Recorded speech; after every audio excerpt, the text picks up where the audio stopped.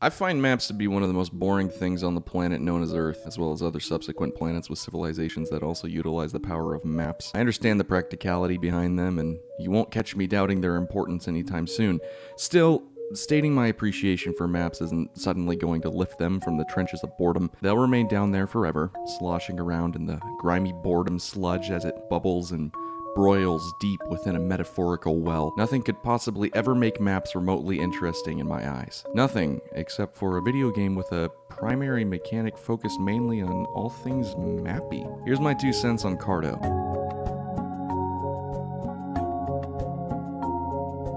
The premise in Carto is fairly straightforward. There isn't much room for ambiguity here on account of the fact that this tale is practically a children's bedtime story come to life. You take on the role of an adorable cartographer in the making named Carto as she travels from land to land searching for her grandmother. Why is she searching for old Gam Gam? Uh, because Carto has this power that allows her to rotate pieces of the land around her by moving pieces on this map jigsaw puzzle thing, which inadvertently leads to her and her Gammy getting caught up in a thunderstorm and subsequently separated from one another. Look, I know it doesn't make much sense, alright? I, I get that. It doesn't help that major story moments are shown through still images either. But at the same time, the game isn't a non-fiction piece, and it still conveyed its messages well enough for me to understand, even if the on-screen action was a bit lacking. That isn't to say the entire game is devoid of dialogue, though. It's honestly quite the opposite. This game has a fairly decent roster of side characters for you to talk to, learn about the world from, and even adventure with. The writing that brings these characters to life is consistently light-hearted, while managing to maintain a strong focus on family, culture, and tradition. It was something I was quite appreciative of, as the lightheartedness reaches beyond just the dialogue. It's found throughout the game and the game's world. There are no combat sequences in Carto. There is no primary antagonist to contend with, no darkness to banish, or end of the world to stop. Personally, I haven't had such a laid back experience since I played Animal Crossing New Horizons when that came out last year. Go at your own pace, combat free titles aren't something we see very often in modern day gaming, so I found it to be a refreshing change of pace. I didn't watch the credits roll on Carto at the end of my roughly 5 hour playthrough and immediately reflect on my past life choices or the greater impact of culture and tradition. Uh, what I did feel, however, was a fairly decent sense of accomplishment for completing what turned out to be a rather challenging puzzle game. Now let's talk about gameplay, because it is without a doubt the central focus of Carto. As I mentioned in my introduction to this review, Carto's primary game mechanic is its map, or maps, I guess I should say, since Carto will take you through a variety of levels neatly disguised as different locales. We'll touch more on these locales once we reach the presentation section of the review. That's the next section coming up. But for now, let's talk about the map itself. See, this map is a special map. It's a super duper vernacular spectacular bad bitch map. It's a sell your gold lace glass eye and your hair follicles for good measure type of map. This map's gonna not only allow you to rotate pieces of it like a jigsaw puzzle whenever you want, it's gonna allow you to do so much more. It's gonna allow you to help worms eat dirt, organize a library that may or may not contain the knowledge of everything that has happened and or will happen in the history of ever, uh, cook a live bird through the power of volcanic ventilation, play Tetris with glaciers, and so much more. To say that Carto's use of its primary mechanic is imaginative and consistently enjoyable would be an understatement. This game is practically the Mario Odyssey of maps.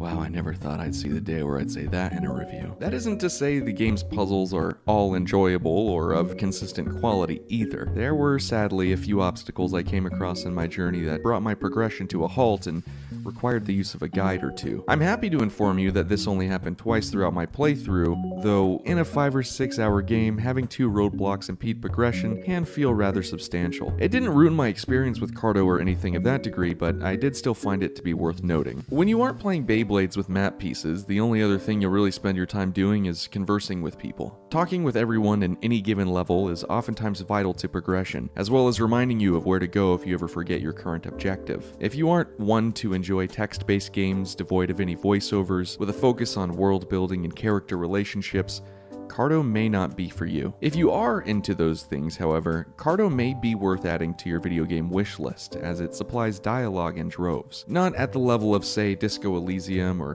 Pillars of Eternity, but still enough to where you're easily able to spend a few hours in this game solely just reading. Carto sports a unique mechanic that helps it stand out from the crowd of generic, by the numbers video games constantly fighting one another for a chance to suck your wallet dry like a mosquito buzzing around in the middle of the Everglades during summertime. It's a mechanic that's often utilized in enjoyable and creative ways, oftentimes leaving me excited to know what gimmick would come into play next. However, if Carto were any longer in its runtime than what it actually is, I think I would start seeing diminishing returns on my experience to time invested ratio. I also think that while the storytelling and world building are nice touches, I personally could have done with a bit less of it. Dialogue is fine and all, but it's not something I really expect to see in a puzzle game, so my patience with conversations tends to be a bit shorter in these situations. Still an enjoyable experience from a gameplay sta- still an enjoyable experience from a gameplay standpoint though, and I honestly think that's a great way to summarize Carto as a complete package.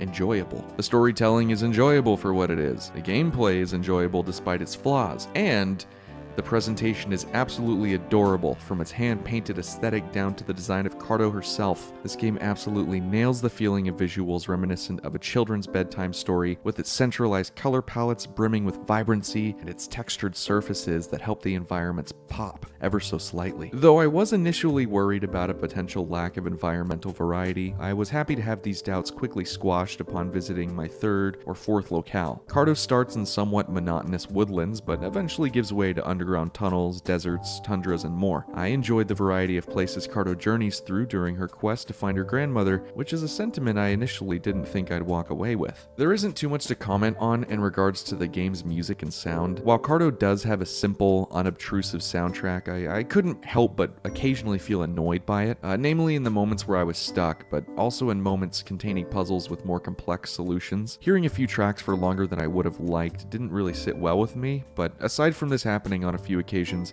the soundtrack is serviceable, if a bit forgettable. The sound effects are also fairly generic, with nothing really standing out here either. The key difference between the sound effects and the soundtrack of Carto being that the former didn't ever annoy me during my time with the game. As was the case with the soundtrack, though, sound effects here are serviceable, but they aren't anything to really write home about. Like the other components we've previously discussed, the presentation in Carto is enjoyable, save for a few short lived occasions. It may not personally be my cup of hot lava, but it works decently within the confines of Carto, which is sometimes all you can ask for when it comes to presentation in video games. Carto is an enjoyable game for both map lovers and map deniers alike. Though its gameplay may suffer from a lack of variety, and its story and presentation leave something to be desired, there are still plenty of things here deserving of your time. There are just the right amount of puzzle mechanics to warrant playing Carto, while an endearing art style helps give reason for enjoying this game passively, be it with a friend or via your favorite content creator. It may not be perfect, but it's perfectly deserving of a verdict